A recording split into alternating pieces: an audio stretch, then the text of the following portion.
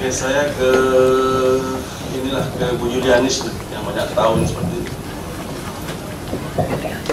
Saudara saksi ya, saya kembali lagi tentang eh, sumber eh, pembelian Herir. Ya, Iya Pak.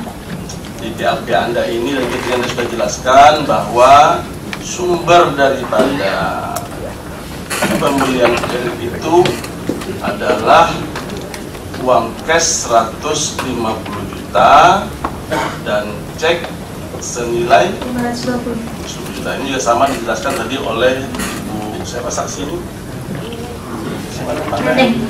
Neneng, itu ya Neneng ya? Ya, benar ya. Oke. Eh,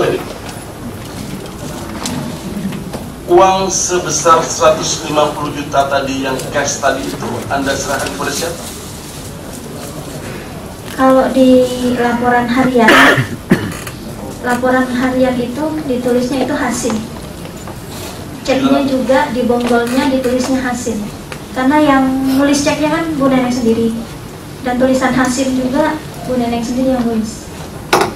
Dari mana Anda tahu bahwa uang ini digunakan untuk pembelian Herir? Dikasih tahunya begitu Pak.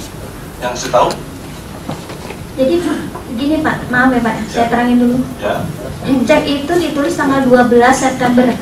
ya, Dan mobil itu juga kan datangnya tanggal 12 September. ya, tanggal 12 September eh, dan uang berangkas juga keluarnya sebenarnya tanggal 12 September. Makanya di laporan di laporan harian kita ada sebutnya laporan harian adalah laporan dari semua dari berangkas kas kecil dan bank. Itu eh, tidak dicatat pas tanggal 12 eh, September. Karena waktu itu yang megang cek saat itu masih Bu Neneng. Yang nulis cek juga masih Bu Neneng. Kemungkinan Bu Neneng lupa ngasih tahu kami